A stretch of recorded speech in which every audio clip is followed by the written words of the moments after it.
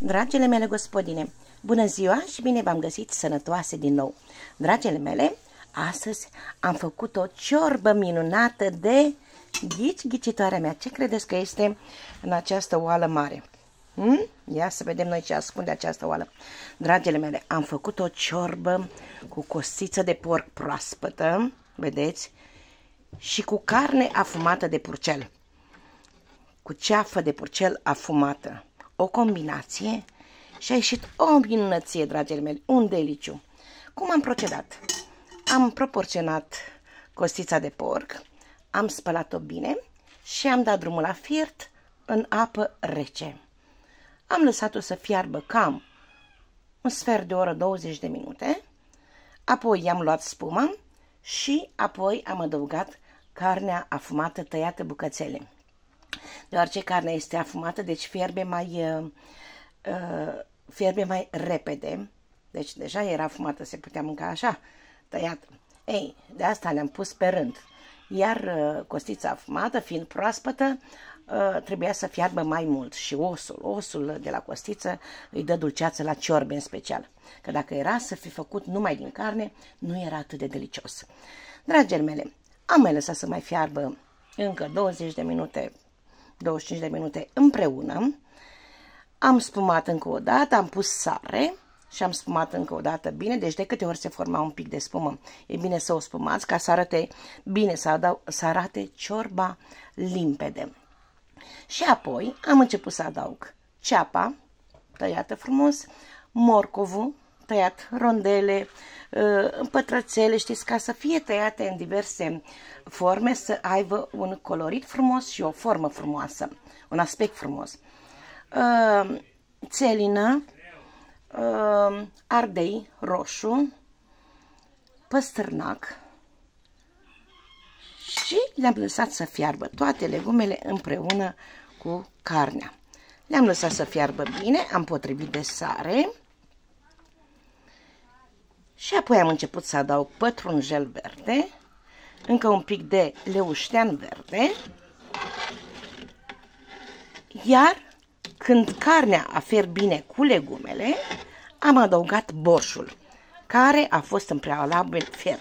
De ce pun borșul fiert în, în, la ciorbă? Ca să iasă o borșul limpede. Dacă nu, ar fi și mai tulbure. Și Ă, după ce am fiert bine și cu borșul, am început să dea în două, trei clocote, am adăugat frecăței, dragele mele. Frecăței, frecăței sunt tăiței puturosul, cum se spune. Am făcut, am bătut ouă proaspete de la găinușă cu un pic de sare, le-am bătut bine, am incorporat cu un pic de făină, am pus și un pic de ulei și apoi le-am pus într-o punguță, i-am tăiat un căpețel și am început să dau drumul, deci în timp ce ciorba clocotea, am început să dau drumul la acești frecăței. Și a ieșit o bunătate, dragii mele. Apoi am pus și un pic de piper negru și am adăugat ce mai trebuia, știți, ca să-i dea un gust deosebit. Dacă borșul este, să zicem, un acru înăsprit, este prea acru, puteți să adăugați și un pic de sare sau un pic de miere de albine.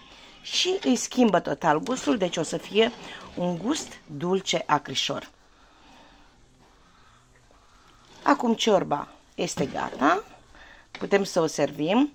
Uh, am oprit, vedeți, flacăra, am pus câteva zări de ulei și am pus deasupra leuștean și cu un pic de țelină verde.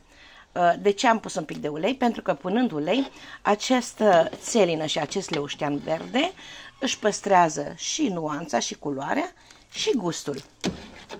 Dragile mele, și a ieșit o ciorbă minunată, minunată. Vă invit și pe voi să veniți să mâncăm împreună un castronel de ciorbă. Ciorbă asortată. Deci ciorbă din uh, coastă de purcel proaspătă și ceafă de purcel afumată. Ce să vă mai zic? Acum vă las, vă pup și vă doresc un weekend plăcut în continuare. Pupici cu sclipici, vă pupă mama dulce și să auzim de bine!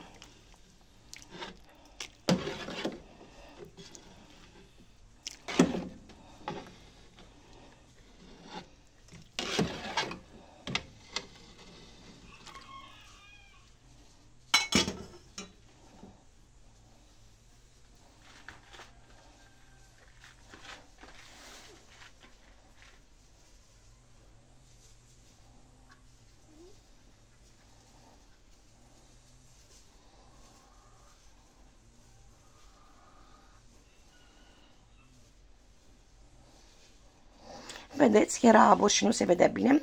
Uh, cum rămâne mai puțin abur, se, se vede mult mai bine ciorba cum arată. Sănătate multă vă doresc. Să știți că a ieșit nemaipomenit de gustoasă.